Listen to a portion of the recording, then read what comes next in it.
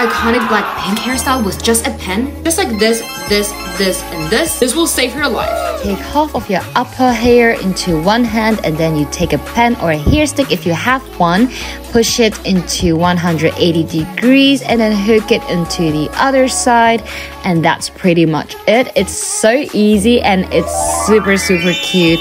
I truly love this technique especially if you do not have a hair tie but you want to make something that looks sort of special. This is the look to go for.